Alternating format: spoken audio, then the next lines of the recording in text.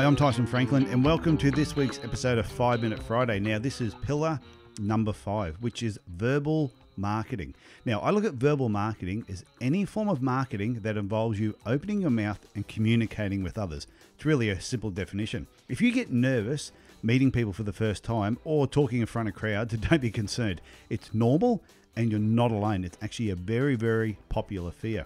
And Mark Twain even said there are only two types of speakers in the world the nervous and the liars. And I will still say that I am in the nervous category. Uh, however, I've learnt not to let my fears control me anymore. That's a no, that's a whole nother story. So on this podcast episode, I will discuss the most common forms of verbal marketing, which are business lunches and networking events, public speaking opportunities, trade shows and expos, and the elevator speech. So let's talk about the first one. Let's get started. First one is business lunches and networking events. Now, I'm a huge fan of attending well run business lunches and networking events. And when I say well run, I mean there's adequate time before, during, and after the event for meaningful conversations, not these really quick conversations where you really don't get any depth. Now, on the surface, the concept of networking is really simple. The goal is to link like minded individuals who have a common interest together, and through relationship building and trust, they become walking, talking advertisements for one another's business. That's what you're after. But for networking to be effective, you must be genuine and honest and look at networking with a long term view. You need to build trust with the person you're talking to. Never treat networking as a one way promotional activity for yourself and for your business. And never, under any circumstances, try and shove your business card down everyone's throat. Don't become that person, the person that everybody sees and tries to avoid in the room. The best part of networking, though, is it's one of the least expensive marketing activities you will undertake. And I believe my previous businesses were all built on the back of business lunches and networking and doing it the right way. So some networking events are free. However, there's others that they do have a small cost, might be 25, 50 or $75, depending if there's a speaker and it could be a breakfast or there may be a lunch included. Who you know is far more important than what you know. But what's even more important is who knows what you know. That is the key. Most communities will have a chamber of commerce or something very, very similar. But also, don't overlook the local businesswomen's club, especially if you're a male. You will stand out. So, opportunities for networking are only limited by your thinking. And if there's no networking group in your particular area, just start one.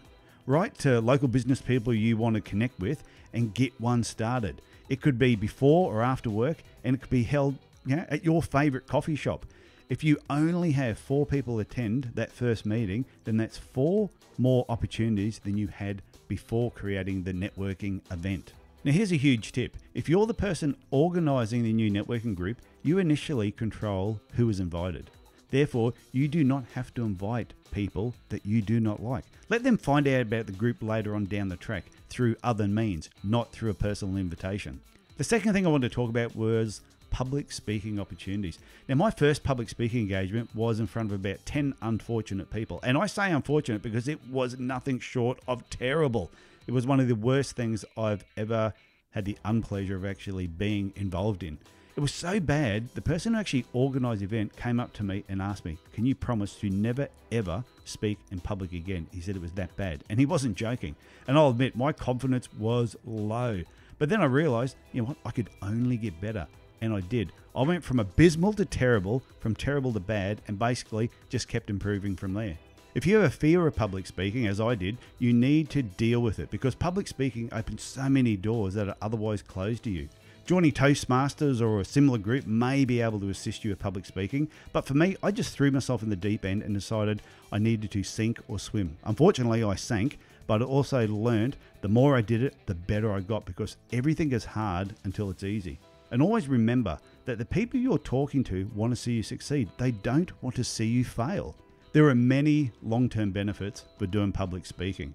First one is you will come across as a perceived expert. And remember, perception is reality. The second thing, if you're an expert, then the business you own and operate must also be exceptional.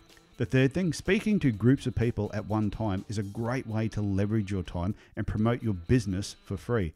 And one of the best reasons why you want to say yes to speaking opportunities when they come about is it's one less speaking opportunity for your competitors. Because if you don't do it, they probably will. And you've got to think, are you okay with that?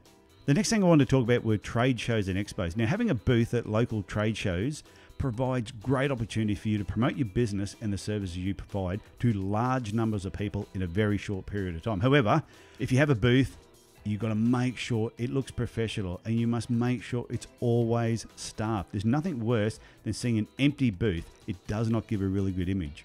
If you attend a networking event, give a talk, or maybe you have a, a booth at an expo, make sure you take photos for your website and for your social media pages. You might even shoot some video. And if what you're doing is newsworthy, consider contacting the local media and sending out a media release. Okay, number four is do you have an elevator speech? Now, this may sound trivial, but when you're at a networking event, you will be asked, What do you do? And I'm amazed how many people are unprepared for this question. It happens at every event. You only have a brief moment to explain yourself. And if you um and ah, the opportunity may be lost. Therefore, you need to be able to communicate what you do very quickly and you need to practice this technique. You want your elevator speech to create a spark of interest in the other person. You want them saying, Please tell me more. That's what an elevator speech is a concise, short message of who you are and what you do. This doesn't happen very often, but I've been at lunch meetings and the MC will ask if anyone would like to stand up or come on stage for a one or two minute talk briefly about their business.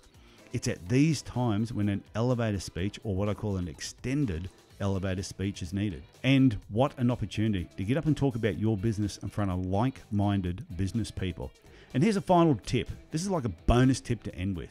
With all verbal marketing, it all comes back to you having the ability to talk and communicate with other people.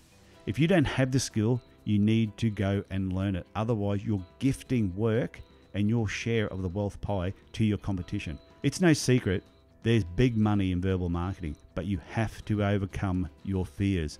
Okay, that's it from me, and I will talk to you again next week. Bye for now.